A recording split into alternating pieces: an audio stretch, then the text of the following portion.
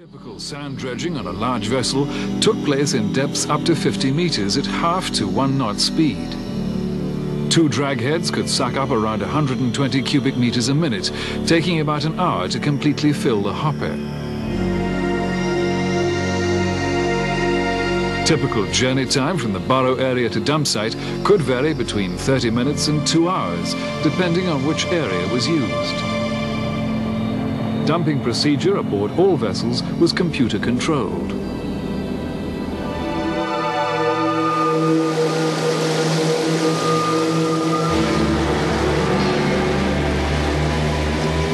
With the bottom doors open, water jets fluidized the sand, enabling the hopper to be emptied within 15 minutes.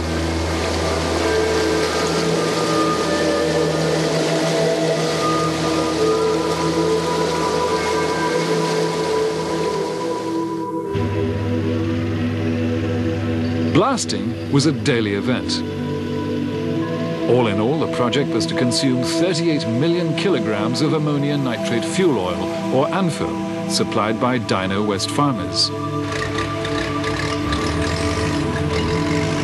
To open a typical face, 50 holes of 200 millimeters each were drilled at precise intervals.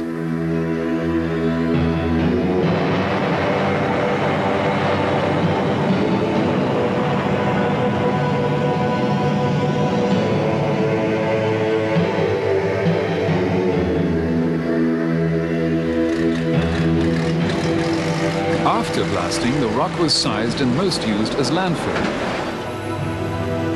Unweathered or high-grade rock was used in a number of applications. One was to provide a stable foundation for the runways. Another was to size the rock by crusher and use it for seawall construction. Other large rocks ranging in size from half a ton to seven tons were used for seawall armor. To prevent the final sand capping on the runways from migrating into the rock base, over 5 million square meters of geotextile had to be laid. A ribbon cutting ceremony attended by executives from both the PAA and APC-JV marked the bridging of the gap between Lam Chau and Chek Lap Kok, which was completed on schedule. By mid-1994, Chek Lap Kok was almost completely flat.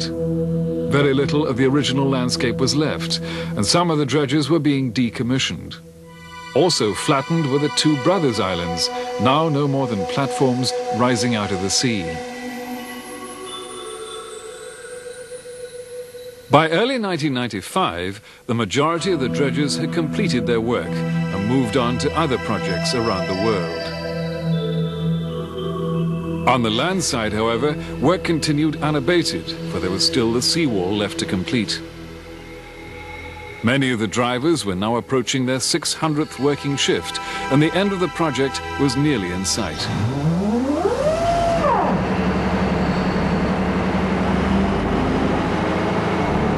In total, the trucks had worked 1,600 shifts and had been driven 12.5 million kilometers, wearing out nearly 2,000 tires.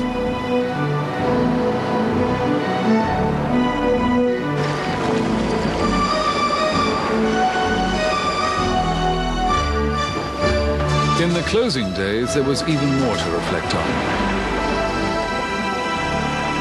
Although this was the largest infrastructural project ever undertaken in Hong Kong, and the largest of its kind in history, it had been completed without major difficulty and well ahead of schedule.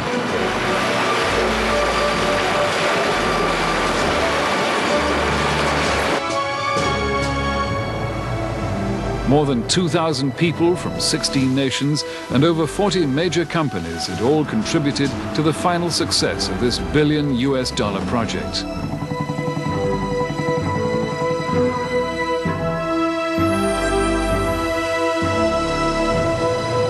Even the trailer dredgers and crews had sailed a remarkable 40 times around the world and had moved over 240 million cubic meters of mud and sand.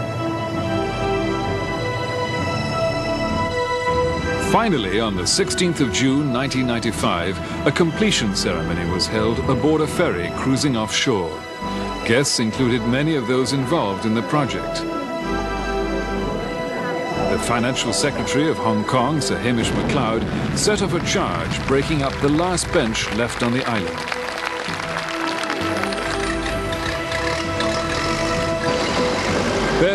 Handful the cat dump trucks remained to move the final loads of material. Most had been dismantled and shipped overseas. So there would be some memento of the project, the artist Louise Soloway was commissioned to sculpt a bas-relief of her impressions of Chek Lap Kok.